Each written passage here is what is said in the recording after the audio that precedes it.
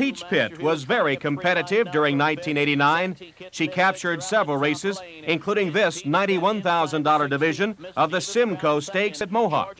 Peach Pit reached the finish in a track record 158 flat. Peach Pit is strong by two lengths, trotting the mile, 158 flat.